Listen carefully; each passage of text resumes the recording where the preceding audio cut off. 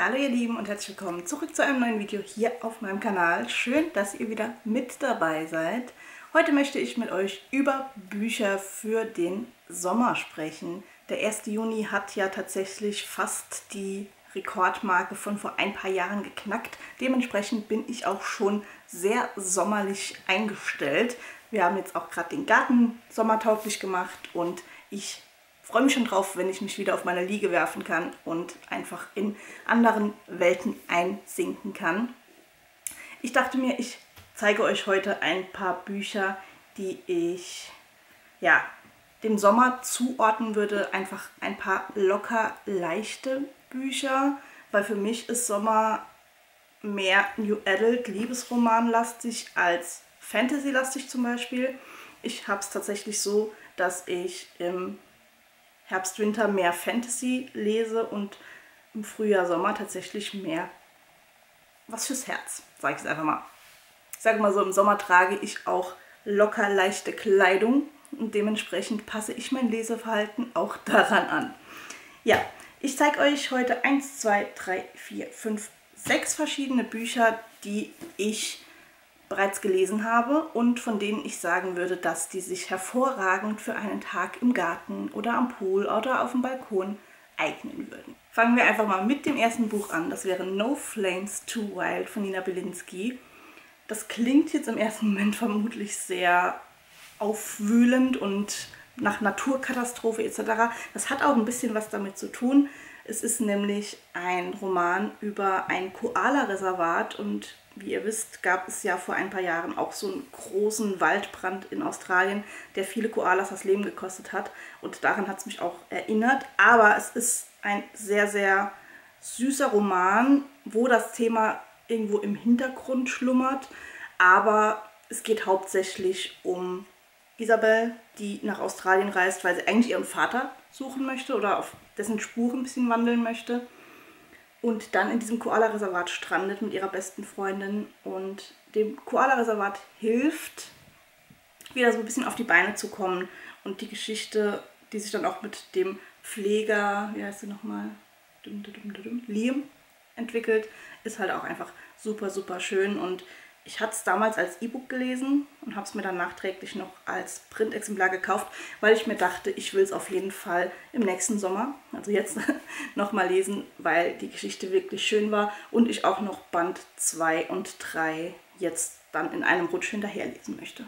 Dann halte ich euch stellvertretend für die gesamte Reihe gerne noch alles, was du von mir weißt, von Kira Kroh in die Kamera. Ich habe Band 1, 2 und 3 wirklich abgöttisch geliebt. Es ist eine Dreierklicke von Mädels und in jedem Buch geht es um eine andere. In jedem Band wird auch ein großes Thema behandelt. Im ersten Band geht es zum Beispiel darum, dass ein Mädel ja quasi einen gewissen Ruf hat, nur weil die Familie einen gewissen Ruf hat und dass sie da so in eine Kaste gedrückt wird und daraus ausbricht und nach Portugal fliegt und dort einem, ja, ist auch eine Tierauffangstation quasi, also so einem ähm, Tierrescue Center, so einer, nicht Tötungsstation, aber so ein Tierheim in Portugal hilft und eben nicht dieses oberflächliche Mädel ist, von dem alle denken, dass sie es ist. In Band 2 geht es dann um ihre beste Freundin Polly. Da geht es sehr viel um das Thema Bodyshaming. Und in Band 3 geht es um eine andere Freundin, also um die dritte im Bunde, die quasi sich von ihrem Langzeitfreund trennt und sich erstmal auf dem Singlemarkt nochmal umschauen muss. Da geht es auch viel um toxisches Verhalten und um ja, Lügen beim Daten etc. Also alle drei haben schon so einen Schwerpunkt, der einen runterziehen könnte. Aber ich finde, dass die Reihe total auch locker, entspannt geschrieben ist, dass sehr viel Humor drin steckt, was das Ganze auch nochmal auflockert.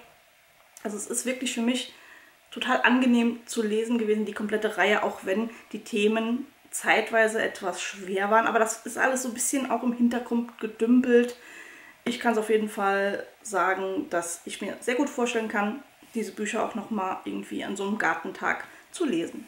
Das nächste Buch hatte ich euch bei meinem letzten Sommerbücher-Video bereits gezeigt, aber es ist einfach das Buch, das als erstes in meinen Kopf kommt, wenn ich an Empfiehl mir eine Sommerlektüre denke. Und das ist nämlich Sweet Like You von Robin Neely. Das Buch ist einfach ein Buch für zwischendurch. Es ist kein literarisches Highlight, es ist kein Buch, das ewig in Erinnerung bleibt, würde ich jetzt mal fast behaupten. Aber es ist einfach in der Zeit, in der du es liest, ein Buch, das dir gute Laune macht. Und das verbinde ich auch irgendwie immer mit Sommer. Es geht um, wie heißt sie nochmal? Cassie Wilkerson, die von ihrer Tante ein Haus erbt, eine Imkerei. Und sie soll für drei Wochen das Amt ihrer Tante als Bürgermeisterin übernehmen. In einer Stadt, wo sie gar keinen Bock drauf hat. In einer Stadt, in der alle total Banane sind und Loco sind. Und da denkt sie, oh, ich bin hier das Großstadtmädchen, das auf einmal in die, in die Kleinstadt geworfen wird, wo jeder jeden kennt und jeder mehr über dich weiß wie du selbst. Und es ist einfach sehr humorvoll geschrieben. Es ist ein Buch, wie gesagt, für zwischendurch, aber ich finde halt, wenn du im Garten liegst, da brauchst du auch keine epische High-Fantasy-Geschichte. Da willst du einfach die Sonne genießen, das gute Wetter genießen, ein kaltes Getränk zu dir nehmen und einfach eine schöne, witzige, entspannte Geschichte lesen. Und dafür ist dieses Buch auf jeden Fall prädestiniert. Das nächste Buch heißt zwar Autumn in Your Eyes, also es geht auch äh, irgendwie dann um Herbst, aber ich finde, da das Buch auf Cozy Island spielt, einer verträumten, süßen Insel, passt es für mich auch sehr, sehr gut in den Sommer. Der zweite Band heißt ja Spring in Your Heart. Und ich gehe davon aus, es wird auch noch einen Sommerroman geben. Den werde ich euch dann vielleicht nächstes Jahr in meinem Sommerbücher-Video zeigen. Aber ich fand das Buch total niedlich, total entspannt, total cozy, was ja eigentlich prädestiniert auch für den Herbst ist. Aber ich kann mir sehr gut vorstellen, dass man das auch entspannt im Garten auf der Liege lesen kann. Es geht um...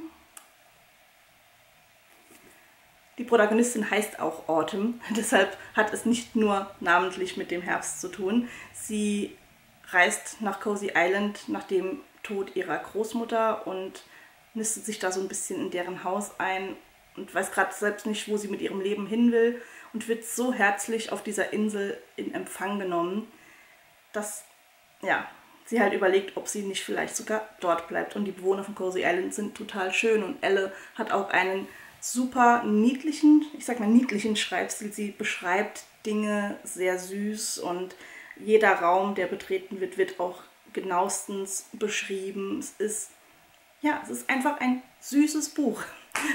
so wie ich Elle kennengelernt habe, finde ich sie auch total süß, auch wenn man das eigentlich nicht hören mag. Aber ich finde sie süß, ich finde ihren Roman süß und ich freue mich auch tatsächlich schon auf Band 2. Jetzt musste ich für die letzten beiden Bücher noch den Akku wechseln. Aber machen wir weiter mit Undercover Bridesmaid. Und ich glaube, ich lehne mich nicht so weit aus dem Fenster, wenn ich sage, dass das eines der lustigsten Bücher ist, die ich jemals gelesen habe. Und lustig ist, äh, ja, eigentlich noch eine Untertreibung. Es hat auch diesen wunderschönen Farbschnitt in der Erstauflage. Ich muss es damals kaufen. Das Witzige an dem Buch ist, dass am Ende jedes Kapitels, muss mal gerade gucken, ob ich gerade spontan was finde, immer so Chatverläufe oder irgendwelche lustigen E-Mails abgedruckt sind, die das Buch einfach sowas von auflockern, wo ich jedes Mal gedacht habe, ich schieß mich tot. Aber worum geht es eigentlich oder was haben diese E-Mails etc. zu bedeuten? Es geht um Sophie. Sie ist äh, Undercover Bridesmaid, wie der Titel schon sagt. Also man kann sie buchen wenn man eine Brautjungfer haben möchte, beziehungsweise eine, ich nenne es mal indirekte Wedding Plannerin. Jemand, der sich um all den Scheiß kümmert, auf den du keinen Bock hast. Und in ihrer Funktion wird sie mit den verrücktesten Dingen konfrontiert. Bräute sind, glaube ich, das schwierigste, ja, was man überhaupt nur irgendwo finden kann. Ich glaube, einmal sollte sie die Königin von England Gott hab sie selig, anschreiben, ob sie sich äh, irgendwelche Juwelen oder ein Diadem ausleihen kann. Und solche Wünsche werden da ständig äh, geäußert. Und sie versucht allem gerecht zu werden und scheitert aber an vielem kläglich. Ich habe wirklich das ganze Buch über sehr, sehr lachen müssen. Und ja, wenn eure Nachbarn es gewohnt sind, dass ihr ein bisschen in der Gegend rumlacht, dann äh, ist dieses Buch auf jeden Fall auch was für einen Tag im Garten. Und last but not least wisst ihr ja, dass ich auch Autorin bin und ich habe auch einen Sommerroman geschrieben und was wäre das für ein Video, wenn ich ihn euch nicht auch nochmal zeigen würde. Ja, Love Me Girl ist ein Roman, der auch im Sommer spielt. Ein Roman, der in San Diego spielt, wo sowieso immer sonniges Wetter ist. Es geht um Surfen, es geht viel um den Strand. Also auf jeden Fall ein sehr, sehr großes Sommerfeeling. Es geht um June, die von ihrem Freund betrogen wird und jetzt nochmal quasi ganz von vorne starten muss. Sie hat aber tolle Freundinnen an ihrer Seite und tolle Kollegen und startet einfach in das Abenteuer ihres Lebens. Viel mehr möchte ich da auch gar nicht zu sagen. Ich würde es aber auch auf jeden Fall empfehlen, es im Sommer zu lesen, weil da das Feeling einfach nochmal viel, viel größer ist. Ihr Lieben, das waren alle Bücher, die ich euch gerne in diesem Sommerbüchervideo vorstellen wollen würde. Nächstes Jahr kommen dann bestimmt noch ein paar neue dazu. Ich habe nämlich gestern recherchiert und da kommen ja Ende des Sommers noch ein paar tolle Bücher dazu, die dann auf jeden Fall in meinem nächsten Sommerbüchervideo einen Platz finden werden. Die werde ich nämlich auf jeden Fall lesen. Das war's jetzt von mir. Ich wünsche euch jetzt noch einen wundervollen Tag. Habt's fein und bis zum nächsten Mal. Tschüss.